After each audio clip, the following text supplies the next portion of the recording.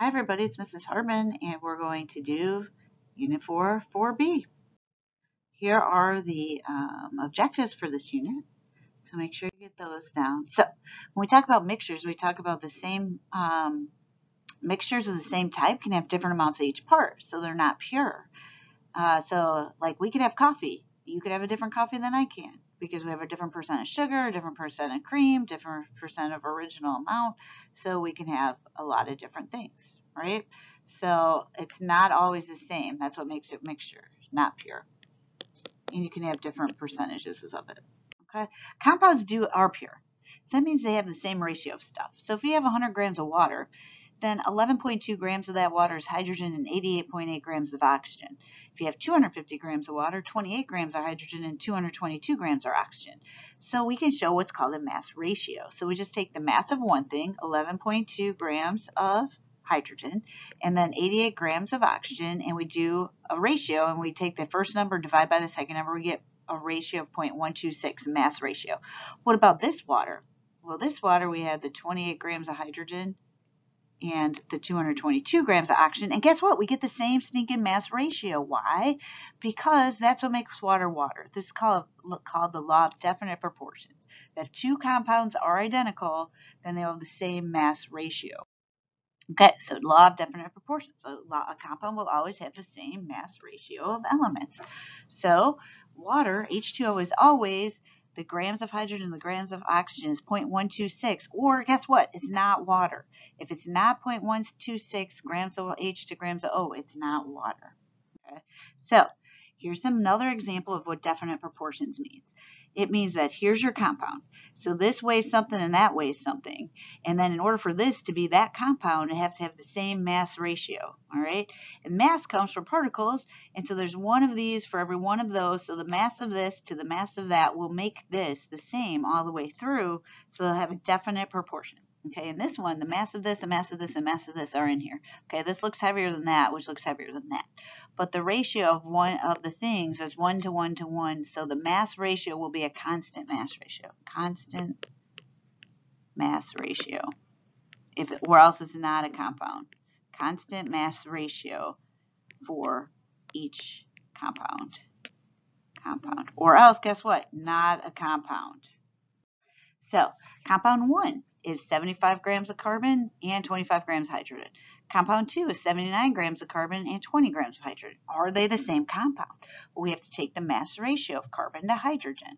So in compound 1 and 2. So compound 1, we're going to say 75.83 grams of carbon over 25.17 grams of hydrogen, and we get a ratio of 3.0 carbon to hydrogen ratio compound 2 is 79.85 grams of carbon over 20.15 grams of hydrogen, and it comes out to be 4.0. What?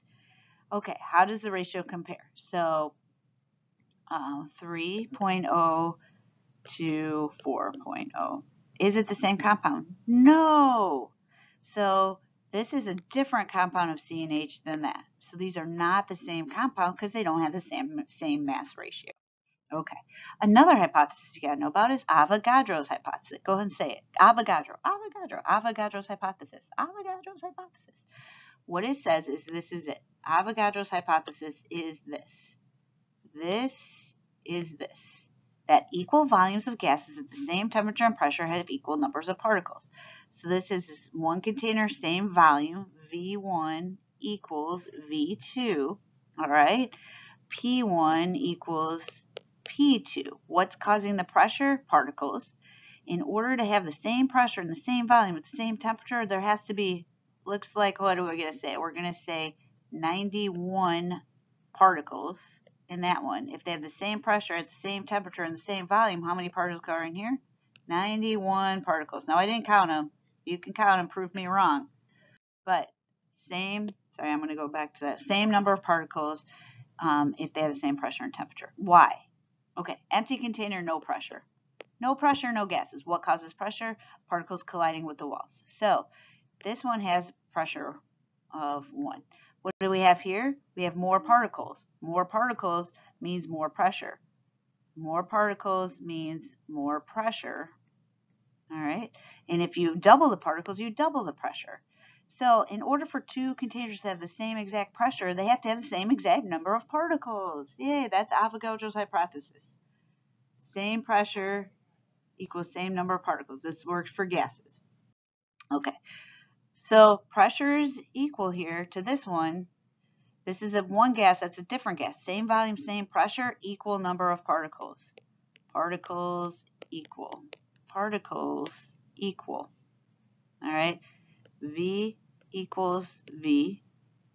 V, volume of that equals volume of that. Pressure of that equals pressure of that. So that means same number of particles. Particles equal. Okay, that's Avogadro's hypothesis. So let's see how it works for us. Okay, uh, particle picture reactions. It'll give you a box for each reactant molecule. We'll often leave out boxes for the product. So hydrogen.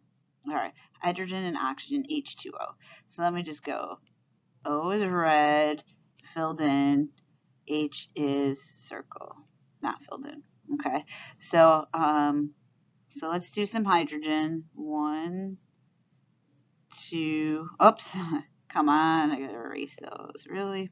Okay, so we have one, two, three, four, five, six, because remember do six. So I gotta put six in this, two, three, four, five, six. And oxygen we have one, two, three, four, five, six. All right, so then how many waters are we to get? We got one, two, three, four, five, six. Why? These are same volume, so we have to have same number of particles. And then one, three. All right, one, two, three, four, five, six. That's the same.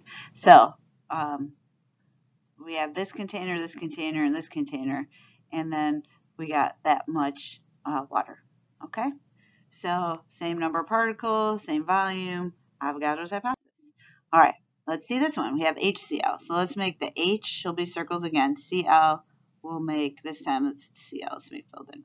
So we have HCl. So when that decomposes chemical reaction, we're going to H and a Cl. Okay? So this is H and this is Cl. Okay? All right, so here's what they noticed though. Okay, a strange thing happened. Some compounds, like the HCl, gave two equivalents of HCl. All right, so if I had H and I had Cl, how in the world can I get two from that? Well, I'll put another one in, H and Cl, okay? But in order for this box and this box to be the same, I have to have the same number of particles. Okay, so now I can get a HCl but I, and I get one other HCl. But guess what happens? There's nothing in this box, but there has to be because there has to be two particles in each box to have the same number of particles. So what they explained was that maybe some elements are what we call diatomic. So this is H2 and this is Cl2. And in order to get two volumes, you got to be getting HCl2. So this was a 2 and that was a 2. And now it explains that we can get two volumes of this, give us two volumes of that. Okay, so this is why we think there are diatomic elements. Here are the seven diatomic elements. Where can you find them on a periodic table? It starts with element number seven. This is seven. This is nitrogen nitrogen, oxygen, fluorine, chlorine, bromine, and iodine. It makes a seven on the periodic table, but there's only one, two, three, four, five, six in the box. And so then hydrogen over there makes the seventh. There's seven diatomics. Diatomic means those elements are never by themselves when they're elements. They're always with a buddy. So N2 means, and I'll just make it green for fun. N2 means that. Okay. What does H2 mean? H2 means this. Okay. All right, so that's our diatomics. All right, particle pictures. Now we have to look at it again. So H2 is this. So if I'm going to put 1, 2 in this box, all right, in order to have a whole nother box, I have to have 2 in here. 1, 2 particles, all right. I have to put the same number in here because equal volumes have equal particles, so this is going to be oxygen. All right, 1, 2, all right. So then in here I have to put two whole particles, but now it's H2O. So here's my O, here's my H's. One, two. Okay, so this box has two particles, so they're same particle, same volume. This is Avogadro's hypothesis. And so, really, it's two volumes of that for one volume of that gives you two volumes of that. And the only way you can explain is with diatomics. Okay, so to review, here are your seven diatomic elements. They spell a word, Nafkulbrih. Okay, Nafkulbrih, so that you don't forget them. You got to phlegm up that H. So, definitely a compound if the mass ratio is the same as another one. Uh, Avogadro's gases have the same number of particles. Here are the objectives again. And that was Unit 4. We're done.